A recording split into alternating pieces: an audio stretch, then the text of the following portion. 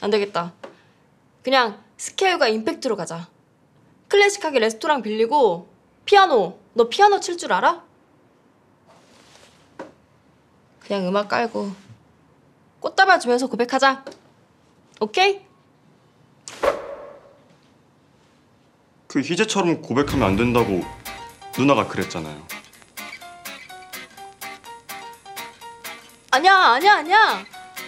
나 생각해보니까 나 그때 엄청 감동했어. 음, 결국 우리 희재랑 이렇게 잘 사귀고 있잖아. 아, 아 맞네. 아 고마워요 누나. 근데 이거 다 하려면 돈이 좀 필요할 텐데. 모아놓은 돈은 좀 있고.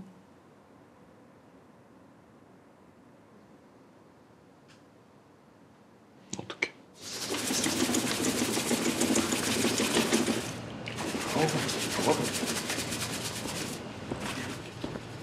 자 선물이다.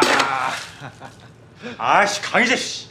야 내가 알바 꽂아줬으면 빨리빨리 닦아야지. 씨. 나 때는 3초에 한 개씩 닦았어 임마. 아. 야 너 그 정신머리 가지고 고윤한테 고백은 할 수 있겠냐? 어? 에휴 빨리 해 빨리.